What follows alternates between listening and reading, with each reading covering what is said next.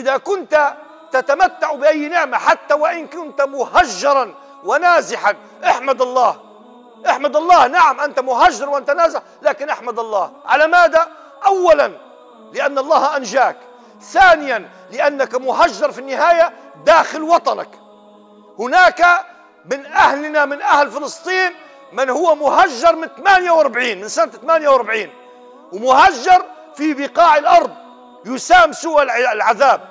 في المخيمات في الأردن وفي لبنان وفي سوريا وفي غيرها في بقاع الأرض.